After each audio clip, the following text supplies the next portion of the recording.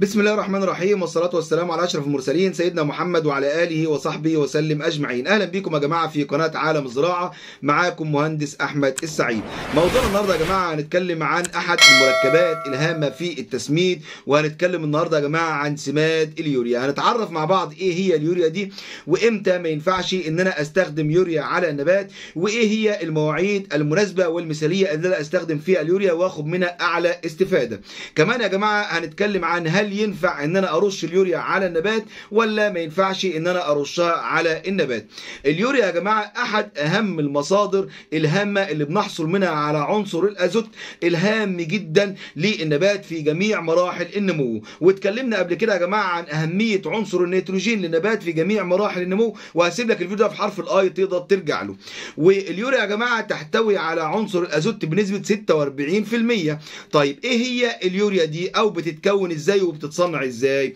اليوريا ده يا جماعة بتتصنع أو تنتج عن طريق التفاعل بين غاز ثاني أكسيد الكربون واللي هو CO2 وغاز النشادر اللي هو رمزه الكيميائي NH3 في وجود درجة حرارة عالية وضغط عالي جدا. ونخلي بالنا يا جماعة في خلال التفاعل ده وفي خلال درجة الحرارة العالية دي بيتكون عندي مركب اسمه البيورايت وده بيوجد في اليوريا بنسبة 1 إلى 2% من اليوريا. يبقى نركز آه يا جماعة في النقطة دي عشان هتفرق معانا كتير جدا وإحنا بنتكلم عن الكميات اللي أنا أو الكميات المثلى اللي أنا المفروض أستخدمها من اليوريا سواء كان في التربة أو رشا على الأوراق. طيب إيه هي الآلية يا جماعة اللي بتشتغل بيها اليوريا؟ أو النبات بيمتص الأزوت في صورة إيه؟ زي ما اتكلمنا قبل كده يا جماعة في حلقات سابقة وقلنا إن النبات بيمتص الأزوت في صورتين صورة نطراتية وصورة أمونيومية. طيب اليوريا هل هي صورة أمونيومية ولا صورة نطراتية؟ لا صورة أمونيومية ولا صورة نطراتية.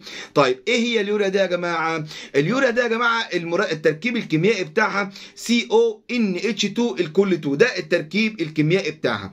لما بتبدأ تضيف انت اليوريا في التربة بتبدأ تتحل تتفاعل مع المية وتتحلل عن طريق إنزيم اسمه إنزيم اليوريز عشان يديني مركب اسمه كربونات الأمونيوم. وكربونات الأمونيوم ده يا جماعة بدوره بيبدأ يتحلل بعد كده عشان يديني حاجتين مهمين جدا اللي هو غاز ثاني أكسيد الكربون وغاز الأمونيا اللي هو NH3 وهنا يا جماعة نقف ونركز في نقطة مهمة قوي.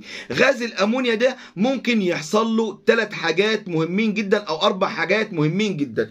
الحالة الأولى إن غاز الأمونيا ده هيبدأ يدوب في المية عشان يديني مركب أو أيون اسمه الأمونيوم اللي هو رمزه الكيميائي. الكيميائي NH4 وهنا يا جماعة نركز قوي في نقطة. لو أنت حاطط اليوريا أو أنت مسمد اليوريا بكمية كبيرة هنا النبات يبدأ ياخد الأمونيا ده بشكل مباشر والجذور تبدأ تمتص أيون الأمونيوم بشكل مباشر. وإذا كانت الكميات دي موجودة بنسبة كبيرة هيبدأ يحصل عندك مشاكل كبيرة جدا وأهمها في الشكل الظاهري إن يحصل عندك شعوطة أو حروقه في حواف الأوراق للنباتات الكبيرة. ولو أنت عندك نباتات صغيرة والكمية اليوريا اللي انت ضايفها دي كانت كمية كبيرة والنبات امتص الأمونيوم ده برضه بالكميات اللي موجودة دي ممكن يعمل لك حروقة للبادرة كاملة أو للشتلة الصغيرة لأوراقها كاملة وتبدأ الشتلة عندك تذبل وتموت. ودي تفسير يا جماعة لبعض الشتلات اللي بتموت وتيجي تشوف تبص عليها بتلاقي جذورها إلى حد ما كويسة وكل حاجة بس الورق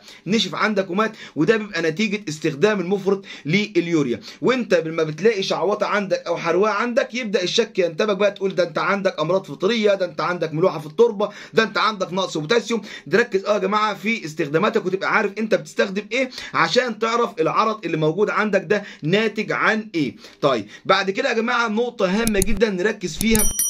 وهي إزاي تحصل على أعلى استفادة من اليوريا اللي أنت هتضيفها للتربة.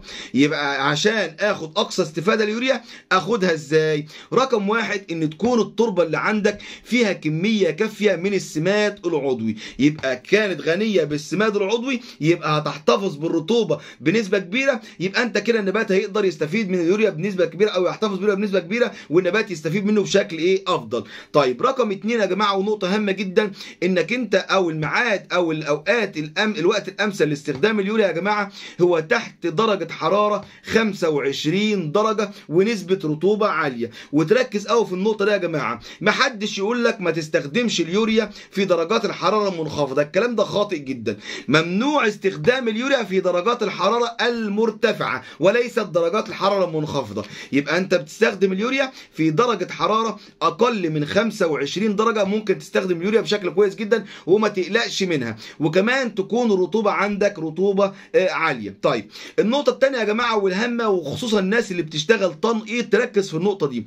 انت لو انت عندك أي نوع من أنواع النباتات وعايز تسمده يوريا حاول إن انت تستخدم اليوريا في شكل محلول. يعني إيه في شكل محلول؟ يعني بدل ما تاخد اليوريا دي وتبدأ تنصرها نسرا في الخطوط أو نسرا على المصاطب أو تكبيش حوالين النباتات لا استخدمها في صورة محلول. ابدأ دوب الكمية دي يا جماعة في برميل موجود عندك تمام؟ وابدأ اسحبها عن طريق الحوال. كمان الموضوع ده يا جماعة هيوفر عليك كمية سمات كبيرة جدا. يعني لو أنت هتستخدم مثلا في عندك في فدان بطاطس في فدان في أي نوع من أنواع النباتات يا جماعة أو الأشجار لو أنت هتستخدم ثلاث أو أربع شكاير يوريا أو خمس شكاير يوريا للفدان على كمية المية المضافة دي كلها أو إنك أنت هتستخدمها نسلا في الخطوط. هتحقق الكمية اللي هتقل معاك شكارة أو شكارة ونص لما بتدوبهم في البرميل وتبدأ تسحبهم في التربة. طيب كمان يا جماعة من العوامل الهامة اللي هتساعدك في إن أنت آه، تستفيد من اليوريا أقصى استفادة أو لو أنت مش قادر إن أنت تستخدم اليوريا في شكل محلول ممكن تستخدمها نسلا في الخطوط مفيش مشكلة ولكن على عمق من 5 إلى 7 سم بس الموضوع ده هيبقى مكلف بالنسبة لك شوية. طبعا هتجيب عمالة تبدأ تفرد تنصر السماد في الأرض وبعد كده تردم عليه وبعد كده تنزل مية الموضوع هيبقى مكلف بالنسبة لك شوية. لكن أنت تركز قوي يا جماعة في إنك أنت تجيب برميل وتدوبها في البرميل وتبدأ تسحبها. كمان يا جماعة تحاول إن أنت بقدر الإمكان ما تستخدمش اليوريا في درجات حرارة مرتفعة. كمان يا جماعة ممنوع استخدام اليوريا في وقت التزهير والعقد. يعني ما يبقاش عندك أي نبات أو أي شجرة في الدنيا هيبقى فيها تزهير وتيجي تستخدم اليوريا. يبقى حذاري إنك أنت تستخدم سماد اليوريا وقت التزهير أو وقت العقد. ده يا جماعة من الحاجات اللي بيمنع فيها استخدام اليوريا. كمان يا جماعة من النقاط الهامة جدا واللي قلنا هنتكلم فيها في خار... في آخر الحلقة وهو رش اليوريا. هل ينفع إننا نرش اليوريا على النباتات ولا ما ينفعش نرش اليوريا على النباتات؟ قلنا قبل كده يا جماعة في بداية الحلقة وذكرنا إن اليوريا تحتوي على مادة اسمها مادة البيورايت ودي مادة سامة جدا للنباتات يا جماعة. واليوريا بتحتوي عليها بنسبة من 1 إلى 2% يعني هل ينفع يا باشمهندس تستخدمها للنبات رش للنبات ولا لأ ينفع تستخدمها رشا للنبات ولكن بكميات قليلة جدا. يبقى لو أنا هستخدم اليوريا رشا على النبات هستخدمها آه، بكمية مثلا نص جرام لكل لتر مية. يبقى الكمية أو المعدل اللي أنا هستخدم بيه اليوريا على النبات هيبقى نص جرام آه، للتر مية. يعني لو أنت هترش 200 لتر مية هتحط عليهم 100 جرام يوريا.